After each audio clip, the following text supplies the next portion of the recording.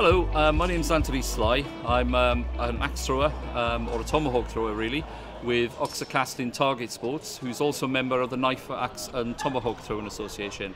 I'm here today at the Northern Show, uh, Northern Shooting Show, um, to uh, run a have tomahawk throwing sessions really. So what I throw is uh, a Norse tomahawk, which is centered around uh, the Dane or Viking design um, 17 inch handle, and we also throw these, which are Gil Hibben-esque Generation 2X Night Tactical Throw-In Tomahawks, which as you can guess is a bit of a mouthful, so we tend to call them Angel Tomahawks because of the shape or the bits either side of the point give the angel shape as you would if you were moving on the snow or the sand. So what we're going to do now is going to show one of um, uh, one of your colleagues how to throw both of the tomahawks into the target, um, and hopefully we can try and get him to have some bullseyes today.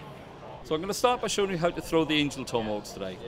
So looking from the target to your throwing line is around about three meters. And when you come up to the line, you, your non-throwing leg, or your leg opposite to your throwing arm, comes slightly forward, with the leg next to your throwing arm slightly back. You point towards the target, taking a very fairly light grip towards the bottom of the handle.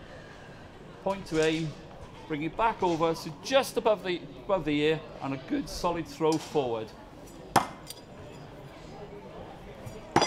Whoop, bit of a bouncer, but it happens to the best.